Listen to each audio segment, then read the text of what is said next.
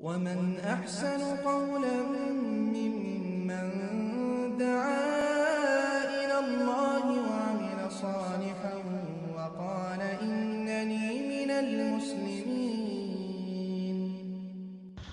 ওয়ালাইকুম আসসালাম ও রহমতুল্লাহ বারাকাত সম্মানিত বোন আপনার প্রশ্নটি হচ্ছে যে কোনো এক ব্যক্তি অনেক পরে ইসলামের দিকে আসে তার পূর্বে সে গুণাগার ছিল কিন্তু এখন তার বয়স তিরিশ। কিন্তু তার যৌবন আল্লাহর ইবাদত এ না কাটায়। সে খুব হতাশ। এখন সে জানতে চায় যৌবনের সময়কাল কত বছর পর্যন্ত থাকে। সে কীভাবে বাকি জীবন কাটাবে? উনি ইসলামের দিকে আসার অর্থটা অস্পষ্ট। অর্থাৎ হয়তো তিনি অমুসলিম ছিলেন, এখন মুসলিম হয়েছেন বা আগে মুসলিম ছিলেন, উদাসীন মুসলিম ছিলেন।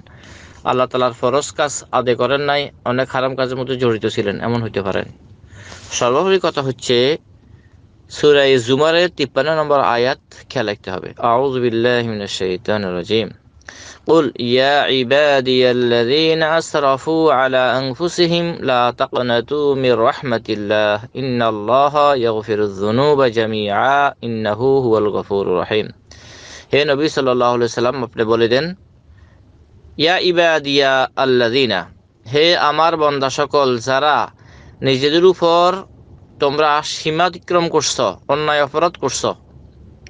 লা তাকনাতু মির রহমাতিল্লাহ, আল্লাহ রহমত থেকে তোমরা নৈরাশ হবে না।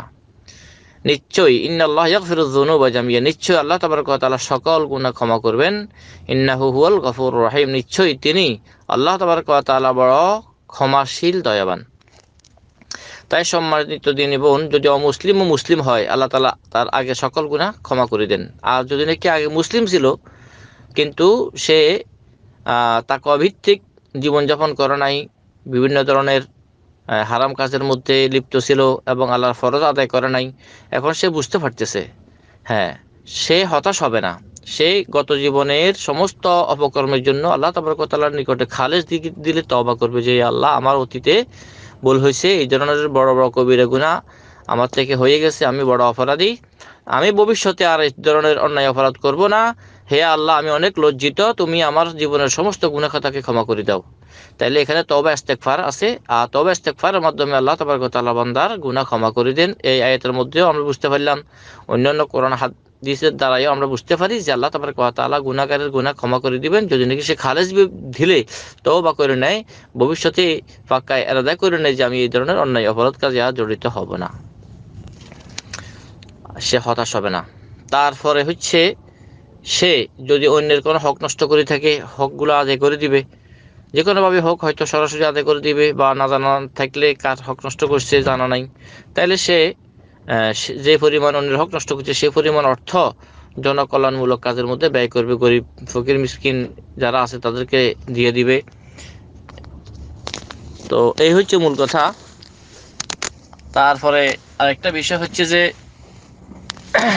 যারা যে যুবন যুবন বা বয়সকাল হচ্ছে বালেক থেকে পনেরো বছর বয়স থেকে নিয়ে একেবারে মনে করেন যারা এই বিবাহের হক আদায় করা যে বিষয়টা থাকে, তো সেই পর্যন্ত তারা কি করবে? যে অর্থাৎ আমি এই কথা বুঝাতে চাইতেছিলাম, যারা এই দুনিয়ার মধ্যে যৌন জীবনে যারা আছে স্ত্রীর হক আদায় করতে পারে এরকম যে সময়টা। কিন্তু ইসলামের নিয়ম হচ্ছে যে ইসলাম ইসলামের নিয়ম হচ্ছে যে বালেগ হওয়া থেকে নিয়ে মৃত্যু পর্যন্ত শরীয়তের বিধান পালন করতে সে বাধ্য। এখানে কোনো যে উঠতি বয়স হইতে হবে এমন কোনো জরুরি বিষয় নয়। তাই তার উচিত হচ্ছে সে কি করবে? যে ফাক্কা তওবা করবে ভবিষ্যতের জন্য। সে প্রস্তুতি নিবে। আল্লাহ তাবার কথার বিধানের উপরে চলার চেষ্টা করবে। আহ, তওবা মাধ্যমে সে জীবন কাটাবে ন্যাক কাজ করবে সুন্নত পদ্ধতিতে অবলম্বন করবে। আল্লাহ তাবার তালা রহমতের আশাবাদী হবে। আশা করি বিষয় বুঝতে পারছেন। বাকি আল্লাহ আলম আসসালামু আলাইকুম রহমতুল্লাহ